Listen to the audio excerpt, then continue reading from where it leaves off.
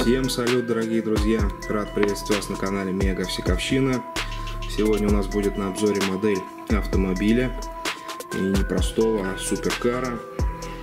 Вот фирма Бурага, масштаб 1 к 24. И у нас будет Lamborghini или Lamborghini, как, кому как нравится. Sesto Elemento. Классный агрегат, по-другому не скажешь. Поставляется он у нас стандартной буратовской коробочке. То есть серия у нас самая обычная. Ничего у нас здесь, ни модельного ряда, ничего нет.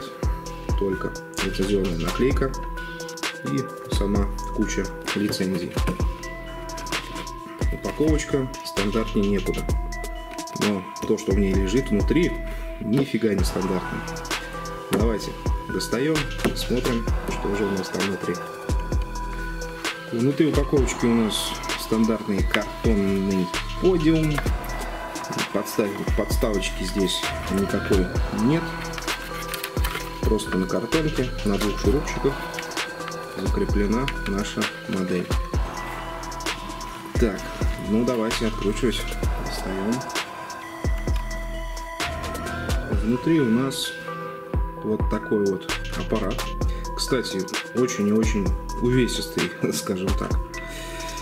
Э, есть у нас одна, всего лишь одна транспортировочная лента. Давайте ее удалим. Вообще машина довольно-таки интересная сама по себе и неоднозначная. Э, этот суперкар, насколько я помню, прям не сказать, что он сверх новый, сверхсовременный, по-моему, 2010 года, могу ошибаться. Э, такие меня поправят. Но в чем он был, так сказать, таким новатором? Эта машина практически э, на очень много процентов состоит из углепластика. То есть э, у нее даже и название это сесто элементов с итальянского, по-моему, это на углерод. Ссылка такая. То есть очень много здесь деталей сделано именно из углепластика. Она очень супер легкая, супер быстрая, да и вообще, ну, суперкар, что еще тут взять? Э, на базе, по-моему, на, на базе Борджини Галата, по-моему, что опять же, не помню точно, читал я это давным-давно, но тачка выглядит просто огонь. Сама по себе она такая сделана наподобие, покраска такая матовая, мокрый асфальт, скажем так, э, типа Lamborghini Reventon. Э, был у меня обзор на нее, но та, правда, была модель от Motor Max. Но, кстати, вот в этом отношении они очень похожи именно по покраске. Сам дизайн очень-очень агрессивный, острые такие резкие линии. Обратите внимание на зеркала, ё-моё. Это вообще просто бомба ураган. Ну, колеса, скажем так, довольно-таки типовые, несмотря на то, что есть внутри там тормозные диски. Выделено хромом, смотрится очень даже классно. Опять же, покрасочка однотонная, ровная, но с учетом того, что этот автомобиль, по сути, он сделан из угля пластика, Думаю, он реале также выглядит. И, кстати, у нас, да, у нас поворотные передние колеса. Еще один приятный бонус, скажем так. Ну, это однозначно плюс. Диски, диски я не думаю, что здесь из углепластика, скорее всего, металлические. Но сделано прикольно, кстати. Покрышечки резиновые. Резина такая низкопрофильная. Сделано классно. Сразу, кстати, бросается в глаза. А, здесь прозрачные вставочки, крошечные, но они тут есть. Спереди и сзади. По передней части дизайн здесь просто такой, блин, это самолет на колесах, я думаю. Смотрится просто обалденно. Эмблема Lamborghini есть. Красные вставочки вот эти только такой придают еще более агрессивный дизайн. Э, на удивление, кстати, фары очень такие миниатюрные. сделаны прозрачными вставочками. И видны там даже имитации самой фары, фонарей лампочек. Смотрится классно. Покрасочка везде, повторюсь, однотонная, классная. Дизайн просто сверхагрессивный. По второй стороне у нас здесь все в принципе аналогично. Но здесь у нас, да, да, у нас здесь это скорее всего топливный бак под заправку находится. А, кстати, зеркала, которые такого необычного дизайна, это сделано отдельными вставочками пластиковыми.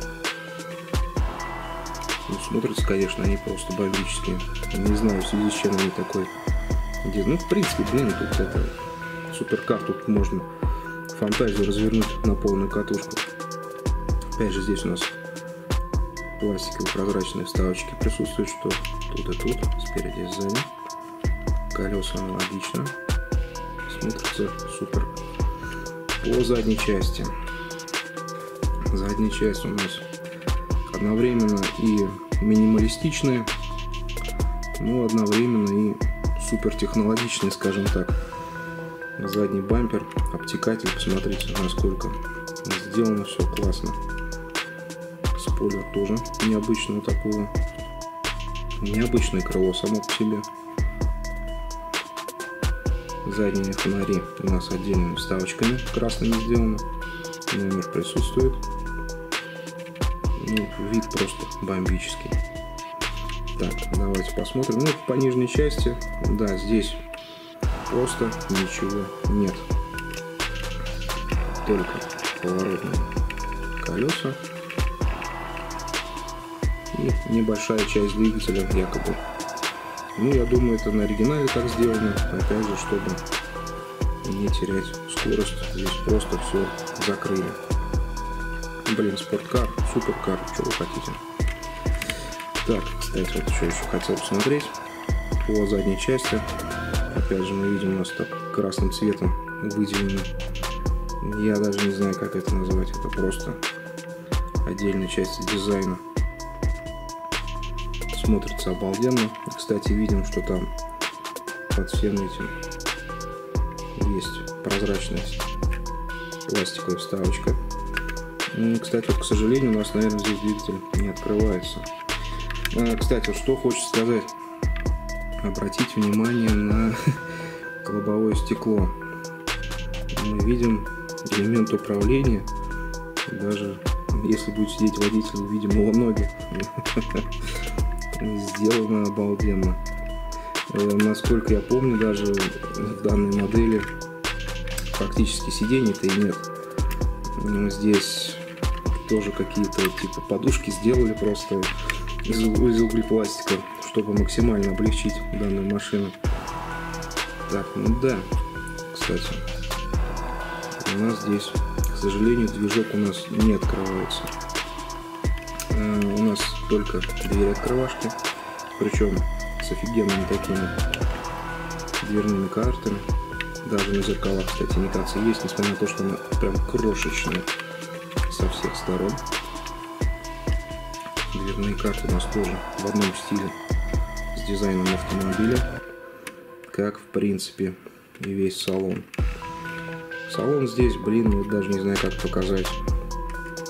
Это не салон автомобиля, это салон самолет. Тут даже руль в принципе, штурвал, как вы видите. Плюс, опять же, не знаю, очень сложно показать. Но очень-очень много деталей. Даже зеркало сделали, не поленились водительское заднего вида. Такие у нас здесь спортивные ковшечки стоят, которые, повторюсь, по-моему, это просто тоже отливки, скажем так, из углепластика. А неполноценное сиденье. Сделано круто. Ну, салон вот показать очень сложно. Очень маленькое все, миниатюрное, но сделано классно. И, кстати, в отличие от предыдущих моделей Lamborghini, у нас здесь двери открываются, кстати, по классике. Кстати, открывается мягко, плавно. Просто обалдеть. Супер тачка. Что еще тут сказать? Ну, давайте достанем, сравним тот же ламбу Ревентон. Вот мотор Макса, у которой двери, кстати, по классике открываются. Но тут у нас нюанс. База у нас здесь галардовская, но по размерам машина в принципе практически одинаковые. И, кстати, вот по расцветке даже видно, что покраска очень похожа. То есть такой же мокрый асфальт, матовый. Размеры, ну, естественно, она, скажем так, все-таки меньше по габаритам. Ну, давайте до кучи еще сравним просто с, Мерселада, Мерчелада. Ну, тут, конечно, габарит она, этот аппарат, он больше и этой, и этой по длине, по габаритам. Ну, тут говорится, как говорится, машины абсолютно разные. Все-таки, в принципе, если сравнивать, то вот с Ревентоном сравнение будет такое, скажем так, поближе. Галат у меня, к сожалению, нет. Никак она мне не попадется по нормальной цене. Давно ищу, но как-нибудь, думаю, я его заполучу. Такой вот получился обзор к покупочке. Однозначно рекомендую. Классный аппарат. Несмотря на то, что движок нельзя посмотреть, но это фигня по сравнению с моделью в целом. Пишите ваш комментарий по данному видео. Подписывайтесь на канал. Ставьте лайки, дизлайки, кому что нравится. Всегда критика адекватная приветствуется. На этом у меня все. До скорых встреч. Увидимся на канале.